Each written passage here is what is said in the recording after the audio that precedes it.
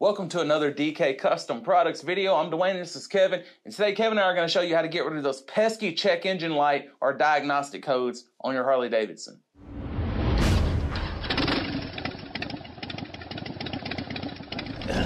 So a lot of times you get a check engine light and you wonder, you know, what's what's wrong with the bike? Could have been something just as simple as a light bulb was burned out. You fixed the light bulb, you replaced it, you put it back in, but Yeah. the check engine light's still on because the code hasn't been cleared.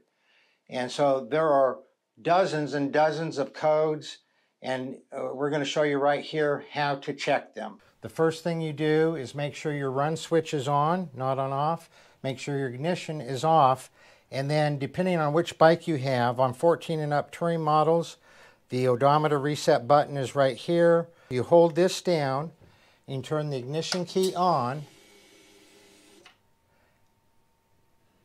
and it comes up diagnostic right there.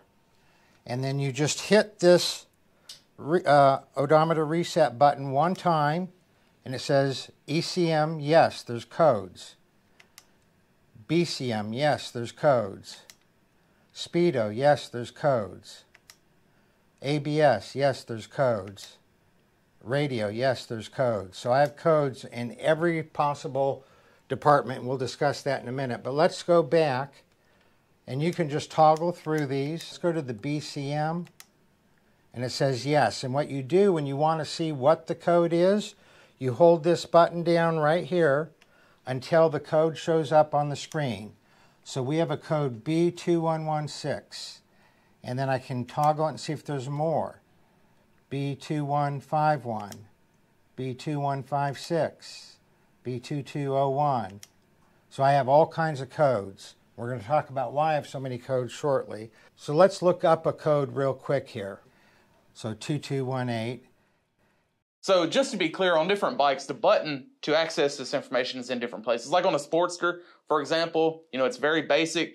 Reach around behind the Speedo and there's a little button back there. On a lot of the older dressers or baggers or dynas, uh, on the side of your dash, there's that little odometer reset button. So there's a process for holding that down and seeing the diagnostic information. But on Kevin's bike, obviously it's a 2014 and up. They're all going to have the little button there to access that menu. So every bike's going to be a little different, but the process is going to be generally the same. The other thing that's important, make sure the bike is on run because a lot of people pull their bike in, hit the off button, the, uh, and and then they try and do this and they forget to put it on run. It's got to be on run for it right. And just to clarify something, we're not telling you just clear your codes, out of sight, out of mind. Problem is gone. you know, as long as you don't see a code, you don't have a problem. But some of these codes are just historic logging data codes. Like for example, uh, if you have straight pipe exhaust and you decelerate hard enough. You'll get what's called reversion, fresh air sucking back up into the exhaust system, and if that's if you don't have thunder torque right to inserts. block it right Yeah, but uh-huh. on some occasions that can get up there and it'll trigger a check engine light because your o2 sensor thinks maybe there's an exhaust leak Too or lean. there's too much oxygen in there so it's a lean condition in fact it's not a lean condition it's just a one-time situation so if you were to clear that code and it never came back you didn't really have an issue but if that code persists then you want to address the potential for an exhaust leak or a lean condition And the reason that we see so many uh, codes on on my bike that we just did is because we just were turning that. We disconnected the automatic compression release. We disconnected the fuel uh, feed, and then we were turning the bike over. It registered all Right, right. kinds of errors. yeah so it literally was lit up like a christmas tree Right. because of that So let's look at the 2118 code that we got. Looking up code 2118, we see what is it, Dwayne? It's a fuel pump output shortage low. So why would it be saying that if you know you don't have a problem with your fuel pump? Well, well, we had the we had the the fuel line disconnected when we were doing the compression test. Right, and turning the engine over so Right. fuel didn't pump through the system. So again, that's just an historic data log code, not indicative of an issue. And a lot of these codes, uh, you can you know you can Google these codes because a lot of them it's an industry standard. For example, PO131. That's a low voltage O2 sensor reading.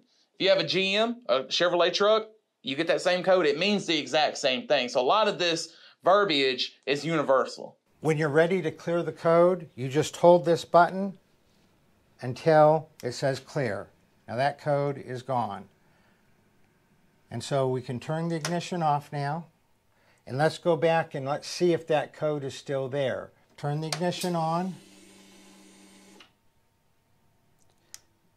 Diagnostic, B ECM, BCM, and it says there's no codes there.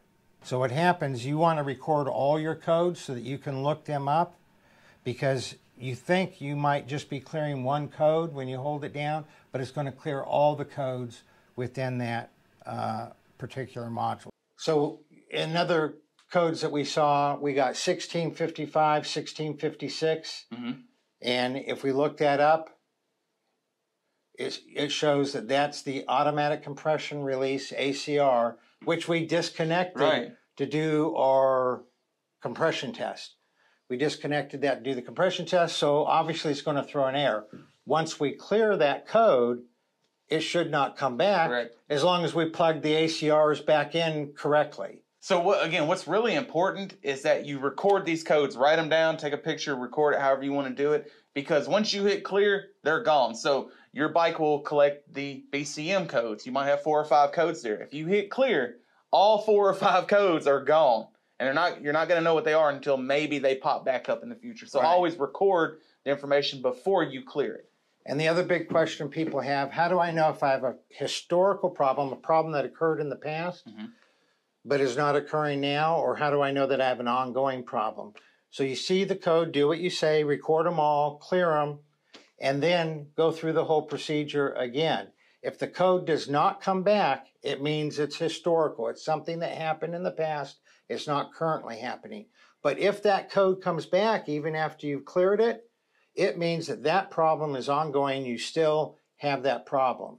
So, for instance, on the ACR code that we got, yeah. Cleared it. If we turned the bike off, turned it back on, checked the codes again, if it came back, then that's a current problem, which means we didn't plug that in uh, when we put it back together all the way. So that's how you know what's going on with your bike. We hope you found this video useful.